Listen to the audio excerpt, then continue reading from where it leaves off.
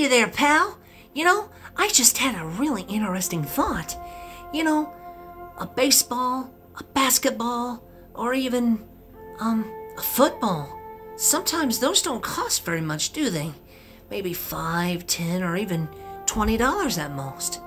You know, but they don't have much value, you know, sometimes. But when you put those in the hands of someone that has a real professional athleticism, like Michael Jordan or Troy Aikman or, or maybe Mark McGwire, you know, well, some people might not even know who they are. You might have to Google those guys. but you know, they bring such value to those items, you know? And maybe, you know, like a clay vessel. It may not look like much, a big clay lump of something that looks like nothing.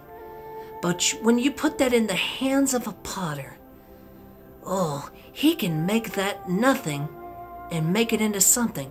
That's just like with Jesus.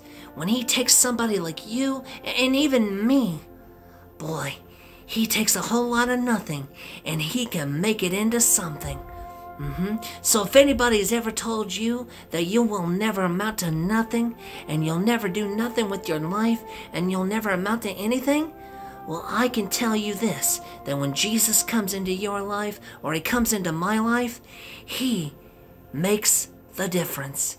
He will always make the difference in our life. And I want you to know that you, friend, today, you matter.